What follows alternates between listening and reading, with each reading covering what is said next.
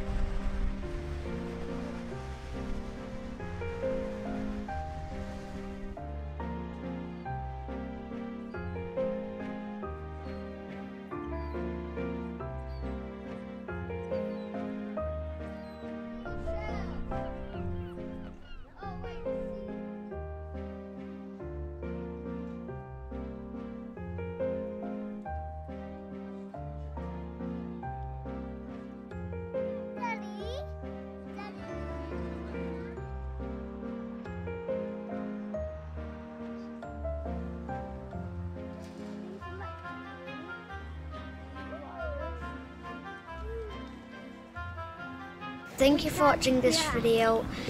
Please check on my channel and you can subscribe. Right now I've made a map with all the places that I've been to. So all you have to do if you want to go to places, you just have to find them, click on them and they'll show all the details.